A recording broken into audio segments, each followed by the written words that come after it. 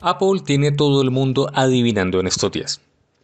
Resulta que anunciaron un evento sorpresa con el eslogan de One More Thing, una cosa más, que era la frase que usaba Steve Jobs al final de los eventos para presentar algunos productos que iban a ser revolucionarios.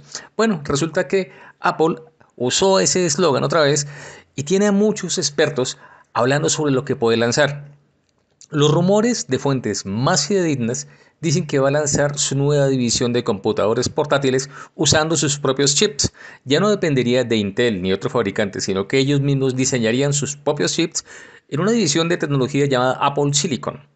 Lo que dicen hasta ahora los rumores es que en este evento se van a lanzar un MacBook Air nuevo, un MacBook Pro de 13 pulgadas y posiblemente un MacBook Pro de 16 pulgadas también. Otra de las cosas que se dice es que también se aprovecharía el evento para el lanzamiento formal del nuevo sistema operativo de Apple, pues para computadores, que se llamaría Big Sur que sería el cambio más grande, pues además porque estamos usando un nuevo tipo de procesadores, una nueva arquitectura que también debería ser compatible con la anterior.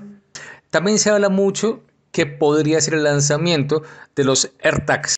Los AirTags son como etiquetas que se pegan a objetos que uno no quiera perder y que uno los pueda localizar usando su propio celular. Es más, uno puede usar la red, toda la red de usuarios de iPhones se prestaría, ayudaría para que uno, para ubicar los objetos que uno tiene ya con un AirTag pegado. ¿Usted qué opina? ¿Usted qué cree y qué le gustaría ver en este evento? Bueno, recuerde, el evento es el 10 de noviembre. Así que esté listo por internet para verlo. Si quieren conocer más noticias como esta, visítenos en www.com.biz. Recuerda que con acompañados a las empresas en sus procesos de transformación digital en mercados de alta competencia. Buen día.